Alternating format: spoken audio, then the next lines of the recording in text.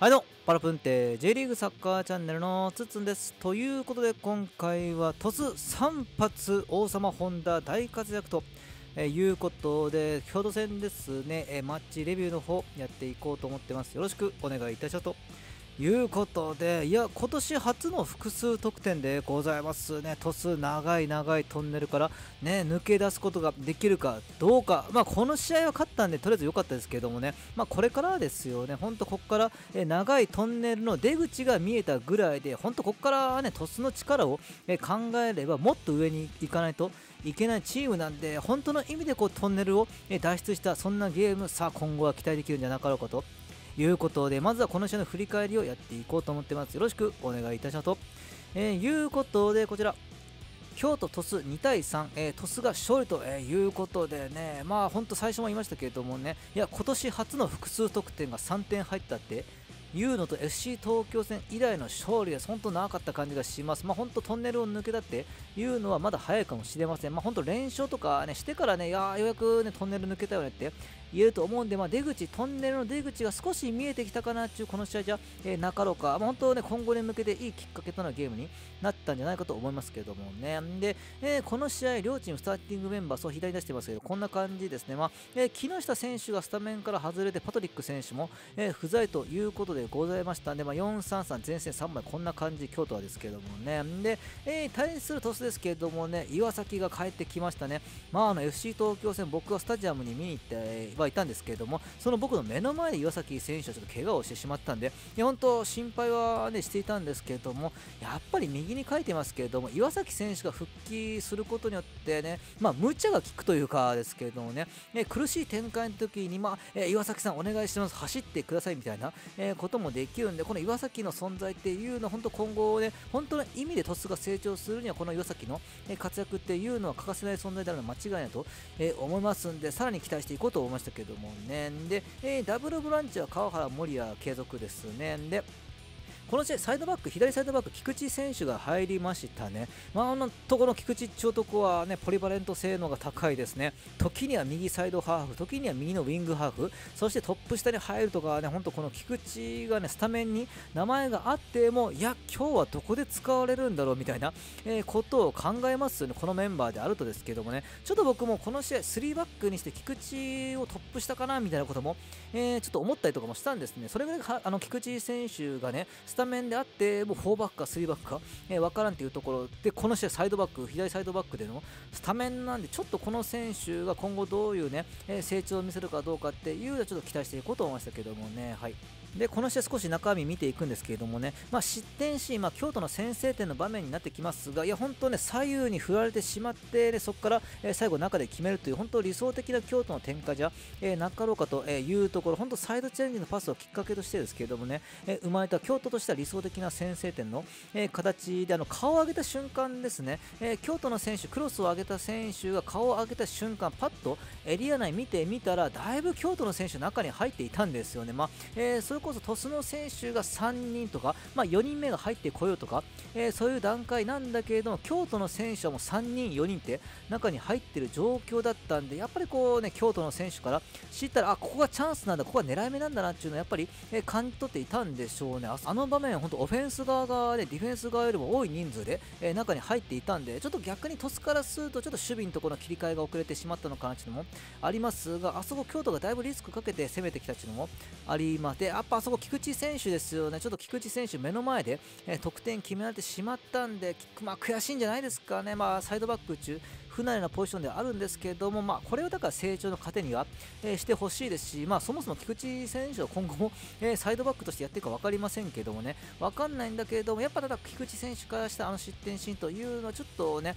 うん、悔しいシーンじゃなかろうかというのは感じましたけどもね。で、しかしそこから鳥栖の逆襲が速攻で始まりまして、まっすぐ、えー、始まってから、ね、最初のプレーですよね、これ得点が入って最初のプレーから一気にまあ鳥栖が攻め込んで最後、守谷選手がえ決めるとということでね、森谷選手のクロスに、え小野選手が頭で合わせてすぐに同点と、えいうこと、あの森谷選手がだからボール受ける前に本田風知がね、えボール持っているんですけれども、あそこのね、ちょっとした時間の作り方とか、ちょっとしたこうボールの扱い方で、やっぱこう一気にこう森谷選手のオーバーラップする時間っていうのを作りましたよね、まあ、ボランチ、森谷選手、ボランチの選手なんで、少しね、え走ったと思うんですけどもね、この、え森谷選手が上がってくる時間っていうのを少し本田風知が、まあ、作ったというか、ね、そういうのもあると思うんで、やっぱ本田風知の気の利いたプレー、まあ、サッカーってやっぱ3本、いいパスが取れば得点が決まるってよく言いますけれども、その1本目の、まあ、これきっかけ作ったのは間違いなく本田風知であるんで、もちろんそこをね、森谷選手のクロスも素晴らしかったですし、まあ、森谷選手もね、余裕を持ってこれクロスを上げることが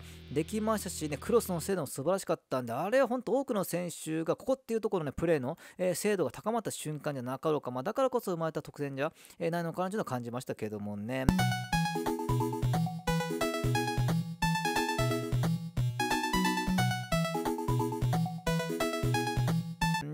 あとだから鳥栖もその後だからずっと京都に圧をかけ続けたんですね。まあ同点で追いついて終わりじゃなくて、もちろんそこから、え、圧をかけ始めました。まあ岩崎選手を中心としてですけれどもね、本当左が相当攻撃が活性化していましたもんね。岩崎にサイドチェンジのパスが渡って、そこから、まあ、アイソレーション1対1の場面を作って攻め込んでいくみたいな、え、こともあったんで、やっぱり鳥栖の中心って岩崎なのかなっていうのは、えー、感じました。まあ本田風知が王様で、岩崎選手がね、まあなんていうか王様、岩崎は王様様タイプじゃないですけれどもね、まあ、王様本田がいて、そしてそこ、社会的走りまくる岩崎が、えいるということなんで、この本田、岩崎の活躍っていうのは、ちょっとやっぱ今後、鳥栖がもう1個上に行くには、この2人セットでちょっとやっぱ見てみたいですよね。っていうことで、その流れで得たコーナーキックから、まあ、ね、オウンゴール誘発と、えいうことなんでね、まあ、何にせよとコーナーキックを取るまでの動きも良、かったです良かったですしね、まあ、だからそこはまあ僕は流れとしても良かったんじゃ、えー、ないかなとあります。で、3点目もま前半のうちに、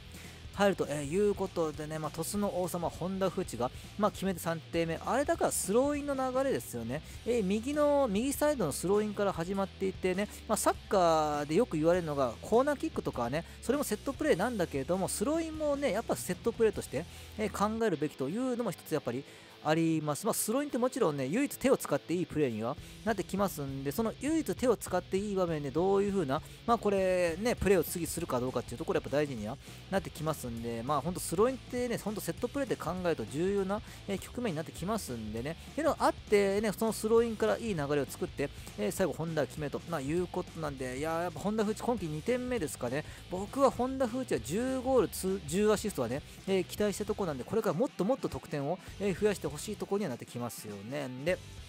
京都、ね、京都後半ですけれどもね、まあ、ちょっと一味選手が退場でね、まあ、あれはレッドでもしょうがないのかな、あそこやっぱ踏んでしまったらね、今年は特にああいうのを厳しく、えー、取るみたいなことを言われていますんで、あそこまあ一発、まあ、レッド、まあ、パッと見ではそんな激しい接触ではなかったんですけれども、まあ、VAR なオンフィールドレビューで見た感じで言うと、まあ、レッドもしょうがないのかなという感じがしておりますけどもね、まあ、しかし田代選手ね、怪我がなくてよかったっていうプレーにもなってきますが、でもね、一味選手退場した後も京都さんが前向いて、えー、プレーをしておりました。もちろん追う展開というのもあったと、えー、思うんですけどもね、で、そのね、京都サンガの攻撃をやっぱ勢いづけていたのはあの男っていうことで、やっぱ右サイドバック、白井選手は違いますね。